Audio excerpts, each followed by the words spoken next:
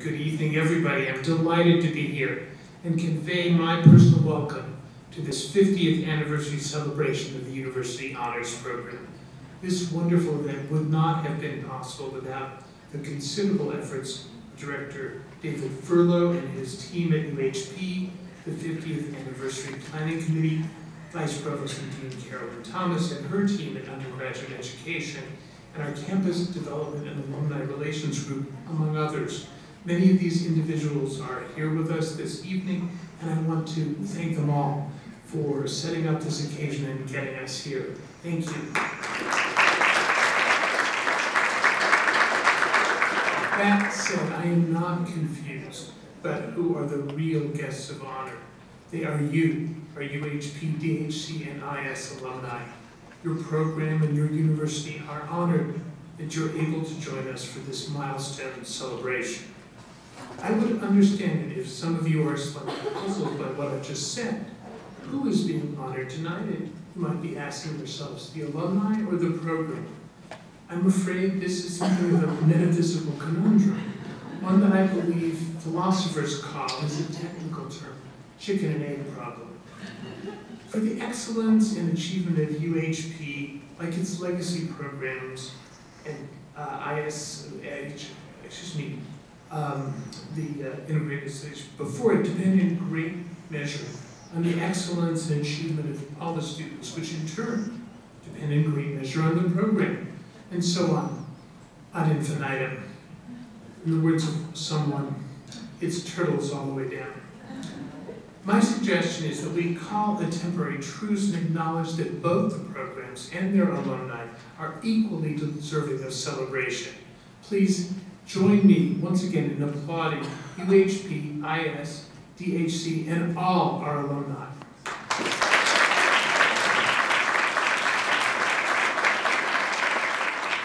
I have every confidence that my fellow speakers will present the historical and other facts about these valuable programs. Indeed, Jim Shackelford already has begun on that road. And um, they all deserve to be put in the public record this evening. I'd like to do something a little different, namely share some higher level reflections on why these programs are so deserving of this celebration. Point of order, from this point on, I may at times, for convenience, refer to programs under the acronym UHP. Please know that when I do, I speak of IS and DHC also. I wanted to find a way to quickly communicate what seemed to me the essence of UHP I came up with a short phrase, on the edge. My reasons are multiple, but not to worry. None of them are the sort of thing you would find in the National Enquirer or even in any way unflattering.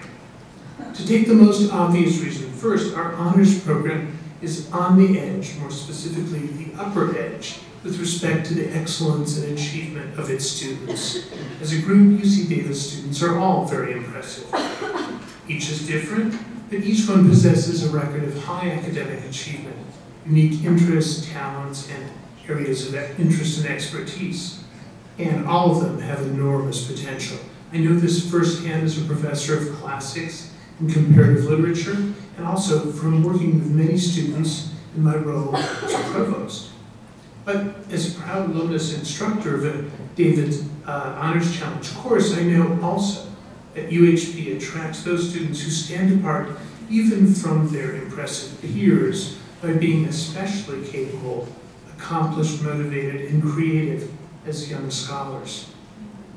The phrase on the edge also points beyond merely academic success, for the work that our honors students do also has value in the world, helping to advance the edge of knowledge and understanding in a chosen area and quite often designed to benefit people or the planet. At the same time, participation in UHP means that one is on the edge of even greater accomplishments in the future. Here I would add that after 50 years of growth, evolution, and high excellence, UHP itself continues to be on the edge of yet greater things. There is, of course, a connotation of calamity in the phrase on the edge.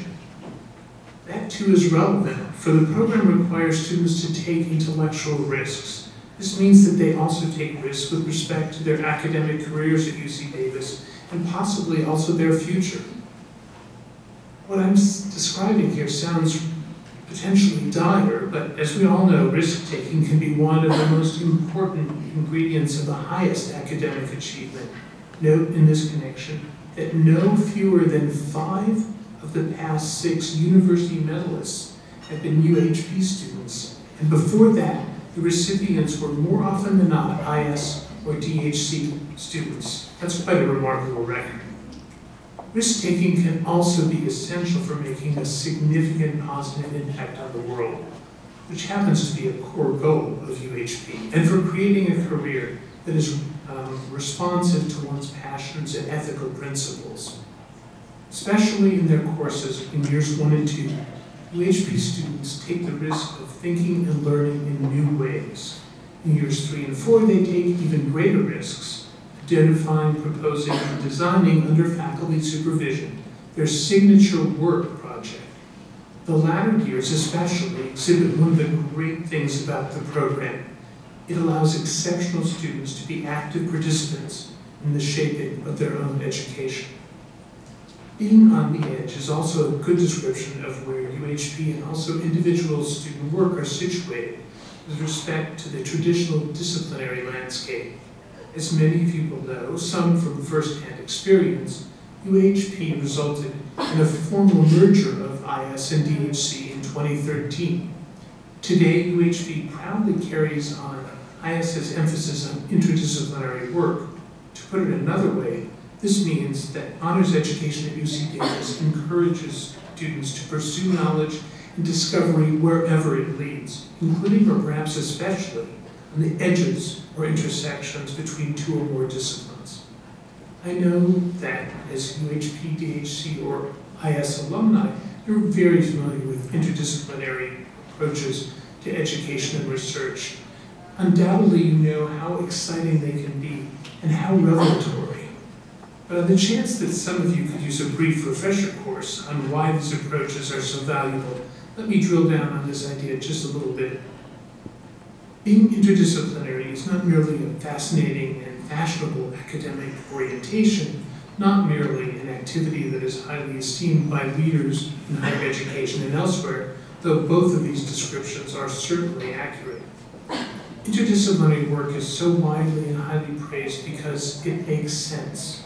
In the last few decades, especially, we've become much more aware of the great disadvantages of addressing intellectual topics or major global problems through a single, narrow disciplinary lens. Topics and problems we are now acutely aware have all sorts of different aspects and connections that extend far beyond what a single discipline can grasp.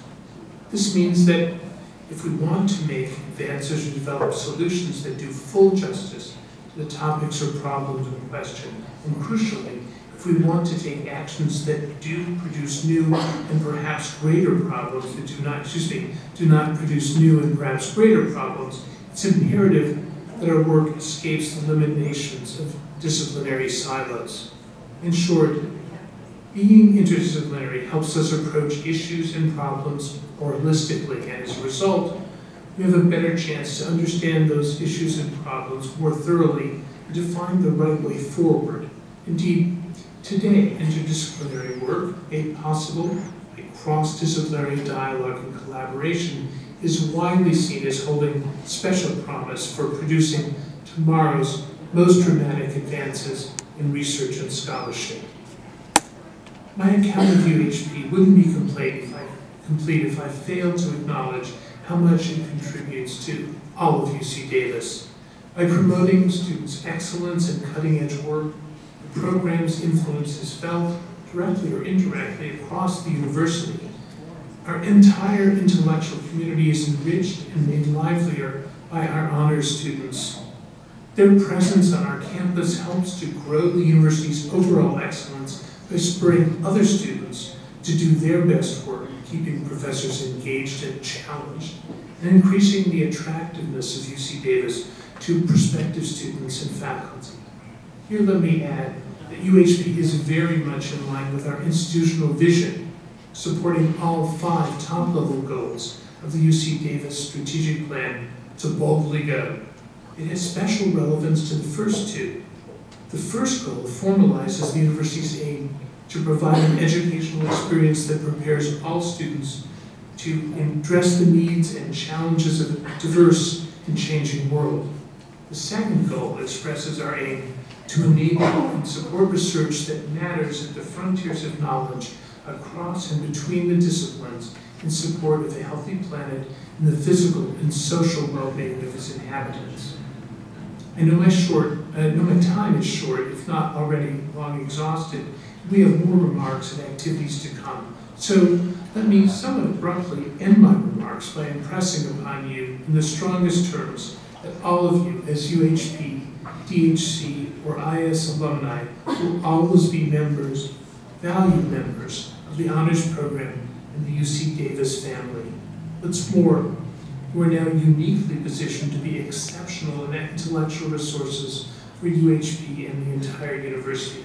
We very much hope that you'll take an active role for many years to come in shaping the future of these programs in UC Davis, in contributing to the university's rising excellence and stature, and in helping us to more effectively pursue our mission to benefit California, people around the world, and the planet itself. Again, to all of our UHP, uh, DHC, and IS alumni, thank you for being with us this evening. I urge you to stay connected to the university through the Cal Aggie Alumni Association and other groups, and come back to visit us as often you can. Thank you very much.